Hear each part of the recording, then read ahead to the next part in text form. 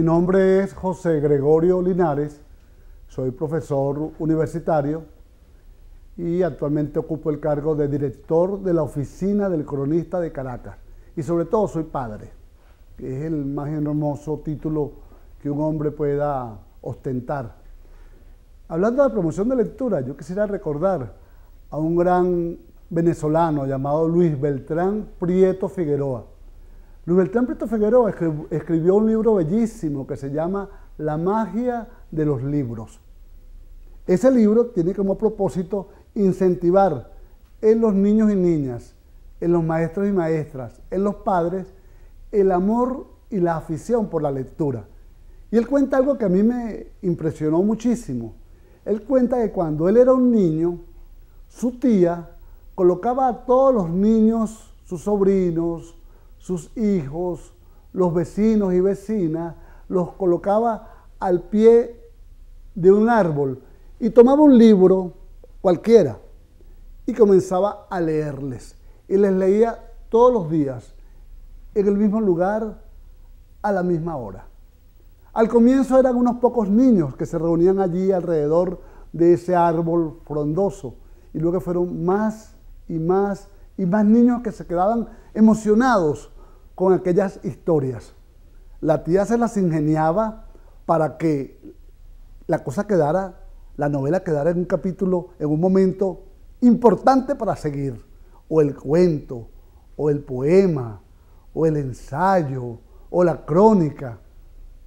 Por eso es que Luis Beltrán Prieto Figueroa no solamente fue un gran lector, sino también fue un gran escritor. Y eso me hace acordarme de una frase de Bolívar. Bolívar decía algo extraordinario. El Bolívar que fue el hombre que más ha hecho por América, ese hombre extraordinario, el hombre de las dificultades, como lo llamó Miguel Acosta Sáenz, él decía, ese hombre que logró crear la gran República de Colombia, que era más grande que toda Europa junta, él decía algo que a mí me llamó profundamente la atención. Él decía, hay que hacer poco, pero hacerlo bien.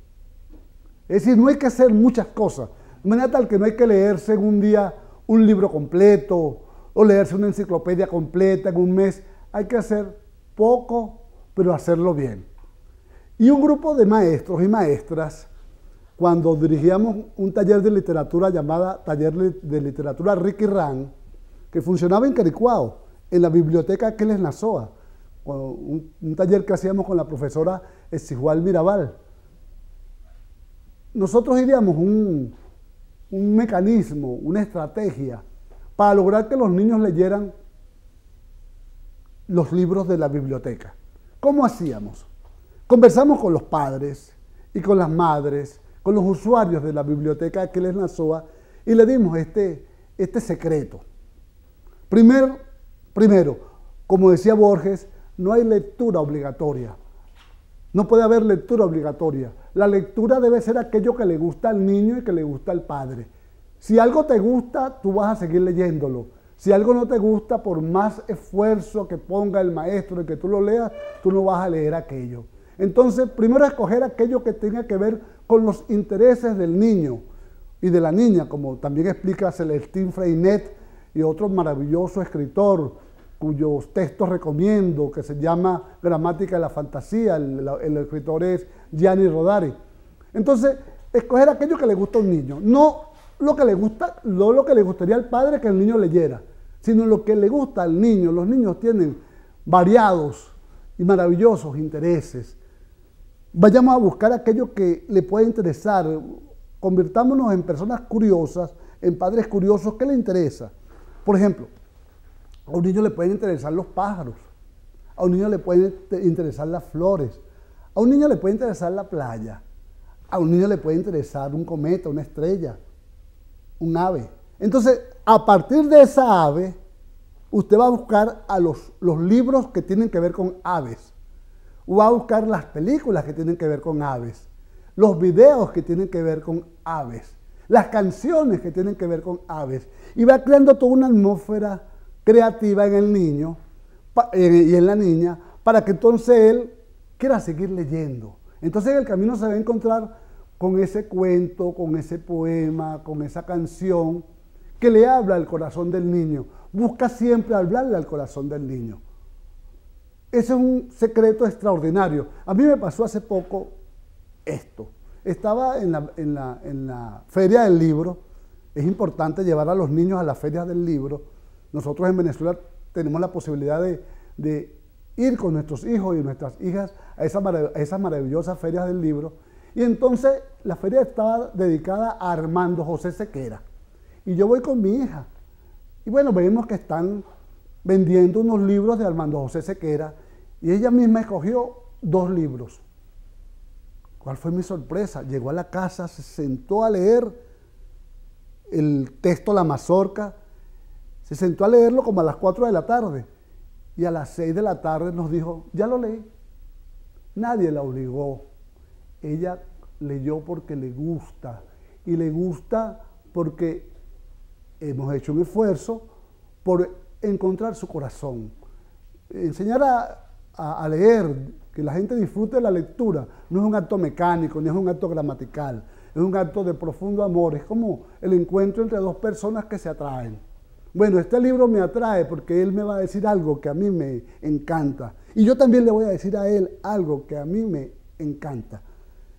Y otra de las cosas que nosotros enseñamos es una técnica sencillita, sencillita, que yo se la recomiendo a todo el mundo, basada en lo que decía Bolívar hacer poco, pero hacerlo bien. Usted va a formar un hábito, el hábito de la lectura. Bueno, para formar el hábito y cualquier hábito, ¿qué tenemos que hacer? Primero, saber dónde lo vamos a hacer, el lugar. ¿En qué lugar vamos a leer? Hay que escoger un lugar hermoso para leer. Luego, la hora cuando vamos a leer. Ponerle una hora, ponerle un momento. Hay gente que le gusta leer más de noche, hay gente que le gusta leer más de día. En fin, escoge en qué momento usted tiene la imaginación abierta a la lectura, más abierta a la creación. Y luego, no, repito, no se proponga leerse en un día 50 páginas. Es como aquella gente que va al gimnasio y va una sola vez a la semana y el día que va la, la semana entonces levanta las pesas, trota, hace multifuerza. No, no, no.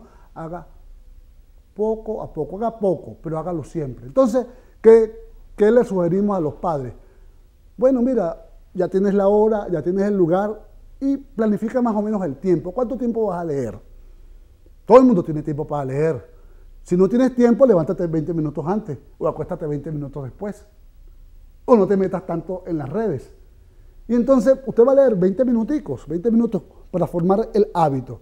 Y entonces, si usted lee 20 minutos diarios, estará leyendo alrededor de 10 páginas diarias. Y si lee 10 páginas diarias, lo que va a ocurrir en su corazón y en su mente y en su imaginación y en su mundo interior y en el mundo exterior va a ser fabuloso, porque usted va a leer 300 páginas al mes. Y si usted lee 300 páginas al mes, estará leyendo dos libros al mes.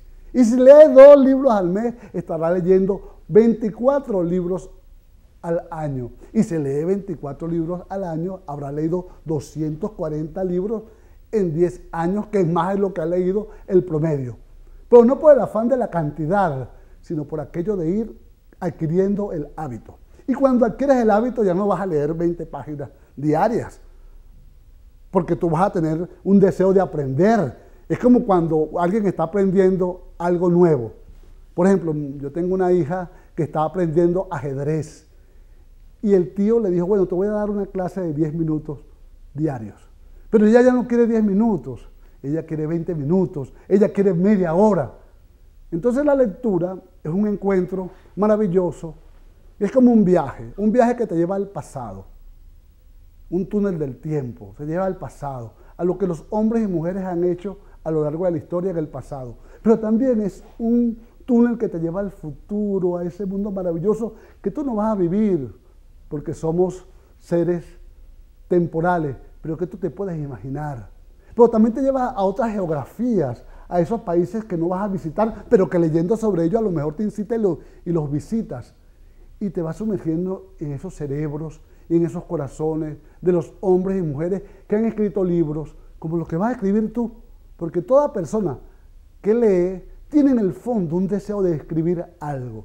Y si escribes algo, en el futuro te vas a encontrar a alguien que te puede decir aquella frase del maestro Aquiles Nazúa, aquella frase que dice, creo en los poderes creadores del pueblo, creo en los poderes creadores de los niños, creo en los poderes creadores de las niñas, porque los niños y las niñas, todos y todas son grandes lectores en potencia. De, nosotros depende de que esos niños realmente se conviertan en, en verdaderos grandes lectores, en verdaderos grandes escritores. Así que apliquemos eso de todos los días, lo que decía Simón Bolívar, hagamos poco, pero hagámoslo bien. Ese es el trabajo y esa es la maravilla de la aventura de la lectura.